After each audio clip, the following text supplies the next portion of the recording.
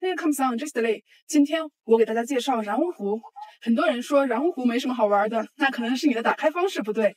这是一个很有争议的景点，你来对了时间，那它绝对是一个没有门票的人间天堂。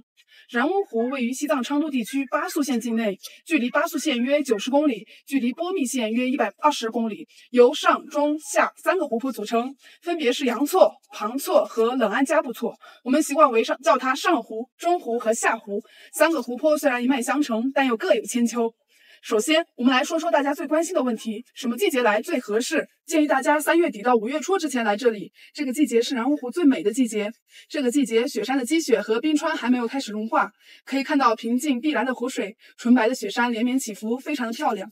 如果是夏秋两季来的然乌湖，由于六月到十一月雪山开始融化，积水混合泥沙进入然乌湖，湖水就会变得很浑浊，尤其是七。八九月期间，雨季最为浑浊，所以很多人看到这个景色都说被骗了，根本没有网上说的那么好看，导致有很多争议。其实只是季节没来对而已。秋季十月到十一月时，虽然湖水大多数很浑浊，但已经是深秋了。这个时候有金黄色的森林、红色的沙脊、黄色的草地，漫山遍野，层林尽染，交汇成一个万紫千红、五颜六色的彩色世界。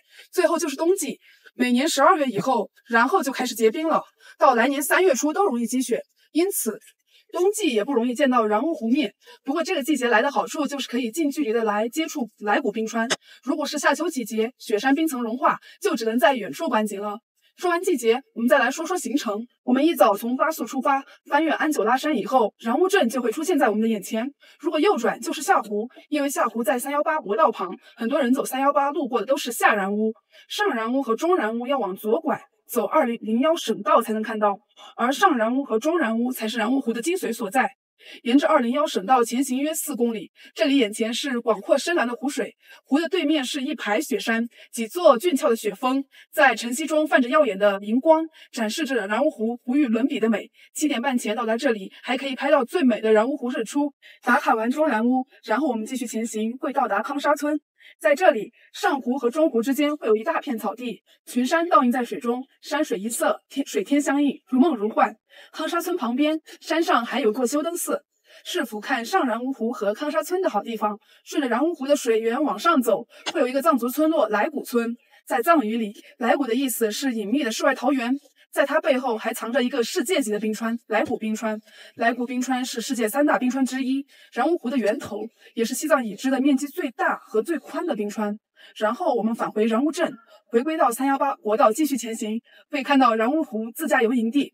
这里也是导航上然乌湖观景平台的位置，然后沿着下然乌湖公路向波密方向，在快到达然乌湖的出水口处，可以在一个弯道上停留，回头拍摄就能拍到呃然乌湖下游的全景。远处是冰面，近处却是碧蓝的湖水，非常奇特。我们再继续前行，就会到达然乌湖的出水口处。原本平静的湖面在这里会变得非常湍急，在这里然乌湖也变成了帕隆藏布江的上源之一。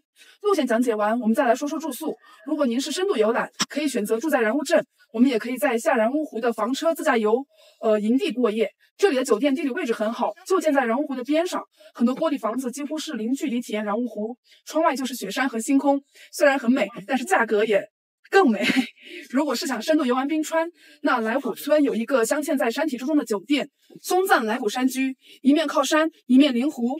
酒店的窗子是落地窗，可以直接在室内看到窗外的美景，面朝来古冰川，置身在雪山群、冰川和湖泊之间。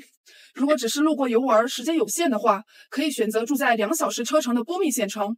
因为是县城，这里酒店多，选择也多，大家可以根据自己的需求选择就行。为什么说这是一个有争议的景点呢？看完视频，你应该也略知一二了。